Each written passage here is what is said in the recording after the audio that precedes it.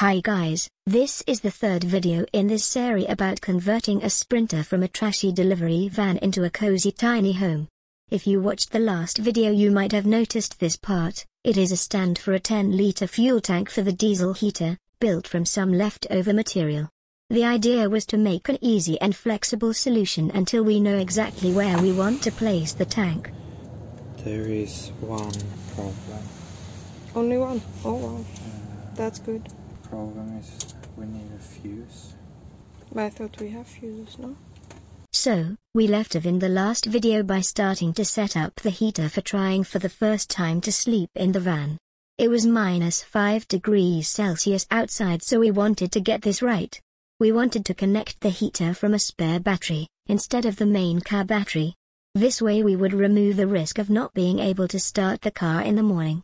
I realized that I left the fuses in the workshop so I took a fuse from the car to use temporarily. The electrical wiring of the heater is really simple, it just needs a plus and a minus cable, connected to a 12 volt battery. Later on in the build we will do this wiring more serious with new batteries and a switch in a good location.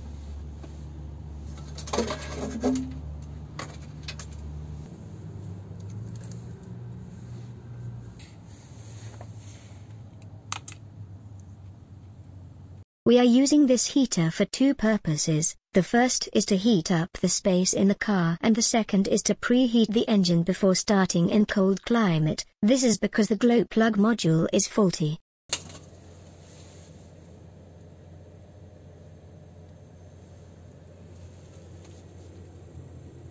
Our first night, or I should say day, that we slept in the van was very primitive. We just put the mattress on the floor and covered ourselves with some sleeping bags that a friend gave to us. We had the heater set to a low setting but it was still a little bit too cold during the night.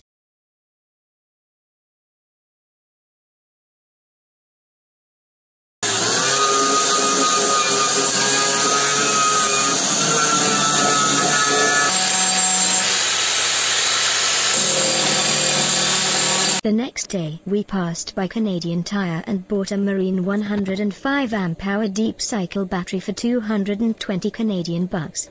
Our plan is for our final setup to have two of those batteries but we decided to start with one.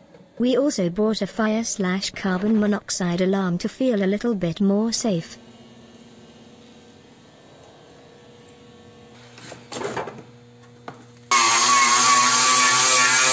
Mike at Phidesign said that we could use the printing booth over the weekend from Friday evening to Monday morning.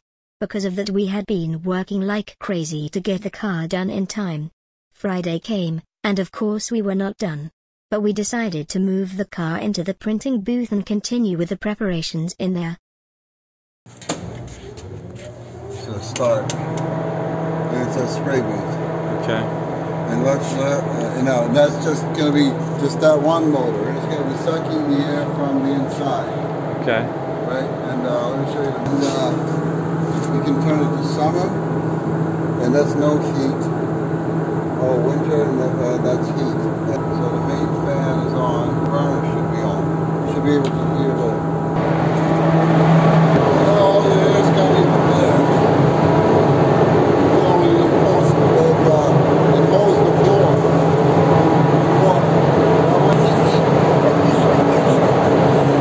Clean everything out, hose everything out, get all the dust out with the with the exhaust, but then shut everything off, mm-hmm. spray, because as you start spraying, a lot of times, mm-hmm.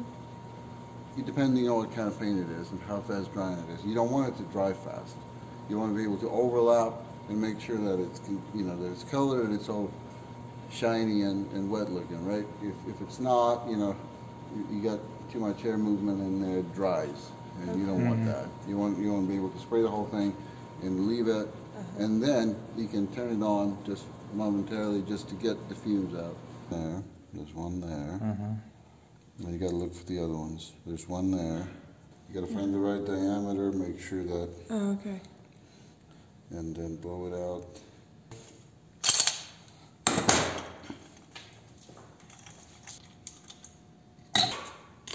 Cups, right?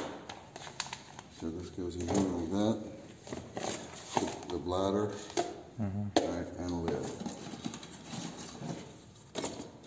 You put your bladder and the lid on, so whatever your mixed paint is, you just, so you basically have this, this kind of deal there. Okay. And you can use these little orange plugs. If you're not done with it, you can just Mm-hmm. cover it, Perfect. right? And then you put that on, tighten it, and then you take the gun upside down. You go like that until it locks. And now you're good to go. And you've got your pressure regulator there, Okay. and this is your fan, and this is your uh, so pattern basically. You know, does that, and uh, and this is just your your volume, and your pressure is back here. Sometimes you get a speck, and what I do is I just take it out, make a hair, or Ah, okay. yeah, okay, like, on and it's like you, you sprayed everything, and it was beautiful. and There's like a Mm, something. you know, bug in the middle or something. So you can take it out with a fine point and just get it out of there. Now, this is um, here. For- For your cleaning. It's all filtered. This takes out the water, this takes out the particles. Okay. Use, use this hose for the gun and this hose to blow stuff off. You're gonna have It's an oil paint.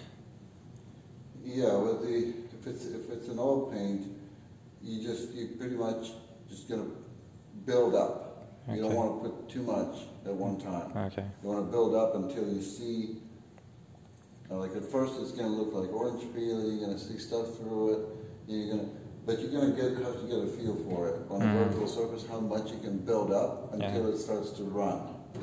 Mm-hmm. And your final coat, you can go a little heavier Okay. just so you get the orange peel out and you can get, the, you know, Mm-hmm. nice, smooth mm-hmm. look. But if you need anything, text me. The amount of work that goes into preparing a rusty old car for paint is mind-boggling and it will always feel like you are not quite ready yet. Luckily for us we did have a deadline, the car just had to be done and dry before Monday morning at 6 am. Our deadline for starting to paint the car was constantly being pushed forward. We knew that the drying time was 24 hours to fully cured paint so we were definitely stressed to finish the preparations as fast as possible. We were welding rust holes that we found, we applied filler to the body to get a good and even surface and we cut a big square hole in the roof for the ventilation fan. We bought the ventilation fan from Amazon, it's a 12 volt fan especially designed for recreational vehicles. The good thing is that it has a standardized size and the Sprinter van's roof has a flat surface where it can fit perfectly. If you check the description of the video you will find a list, with more or less all the parts we have used in the conversion.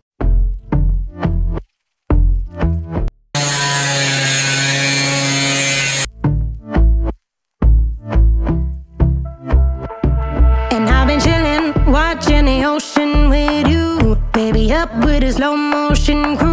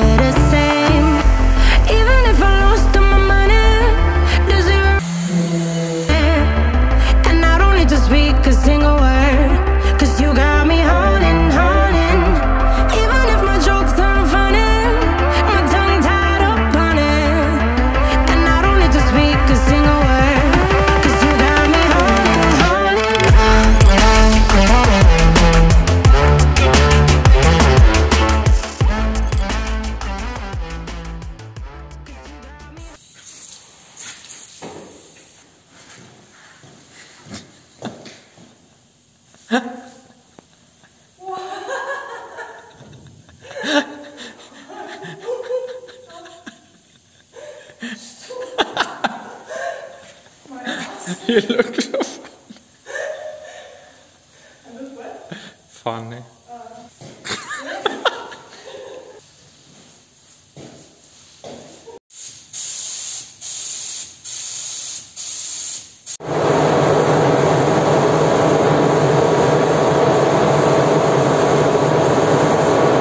funny. literally flew away for us. We were working day and night during the weekend and only slept for one hour at a time to boost our energy. Sunday, at 4 in the morning we finally started painting but we instantly ran into problems. We couldn't get the paint to flow properly out from the gun, we tried to make it thinner by adding a paint thinner, but that only made the paint run instead. We were devastated and exhausted and decided to text Mike and ask for help. While waiting for his response, we decided to go sleep a few hours on our mattress that we had put in a room in the workshop. Two hours later we woke up because Mike was coming into the shop. He told us that he only had one hour before he had to leave again so everything went really fast. He put on some protective clothes and grabbed another gun. Let's try with this gun driven with a pump instead, he said, and we will see if the paint will flow more easily.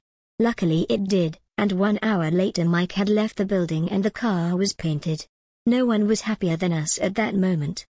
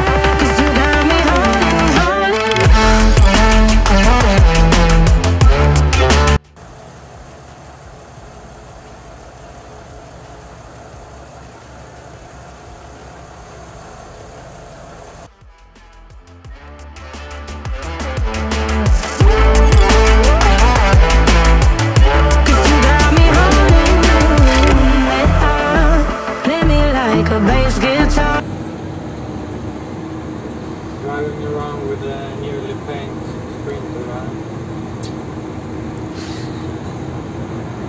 Hey, is this correct? No, no, no, left. Tripping like I'm Jimmy at Woodstock.